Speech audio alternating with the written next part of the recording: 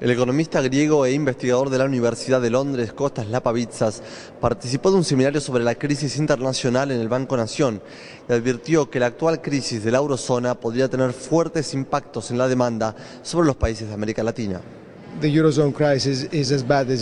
La crisis de la eurozona sigue tan mal como antes. No ha sido resuelta y diría que se ha puesto peor porque ya ha durado demasiado. El pronóstico no es bueno. Si las políticas actuales continúan, la eurozona enfrentará una ruptura de algún tipo. Diría que es probable que esta ruptura comience en Grecia o quizá en otro país de la periferia. La situación en Grecia es extremadamente mala. Este año habrá una recesión de entre el 7 y el 9% del PBI. Uh, el año que viene también habrá una importante recesión a causa de una mayor austeridad.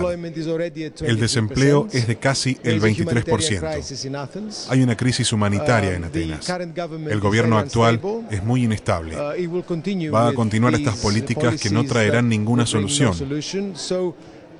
Así que mi expectativa es que Grecia va a enfrentar una situación imposible de resolver entre los próximos seis uh, meses y un año.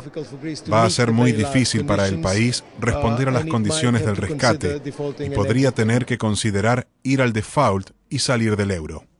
Los problemas de la economía española no son problemas del sector público, sino del sector privado, pero son muy graves. Uh, El crecimiento de la productividad española durante la última década ha sido extremadamente débil, mucho más débil que en Grecia. No hay fortaleza en la economía española uh, y sí hay deudas gigantescas. España uh, es incapaz de lidiar con estas deudas. Sus bancos están quebrados. Um, y si los bancos están quebrados, entonces los estados también tienen serios problemas. No creo que el pacto de austeridad se lleve bien con los problemas de España. Pero va a llevar un tiempo hasta que las condiciones en el país se vuelvan más severas y la gente se dé cuenta de que España está en un callejón sin salida. Si la ruptura ocurre y ocurre sin planeamiento, de una manera caótica, el impacto en la economía mundial va a ser muy severo. Va a haber un grave impacto en la economía de Estados Unidos a causa de las conexiones entre los sistemas financieros y va a haber un grave impacto a causa del colapso de la demanda si la economía europea entra en la contracción y el caos.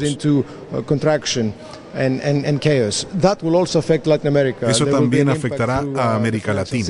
Va a haber un impacto a través del sistema financiero, a través de los flujos de capital, um, a través de la demanda. En los próximos uh, años, los países con ingresos uh, medios, los países de América Latina, van a enfrentar um, nuevos desafíos de crecimiento y desarrollo.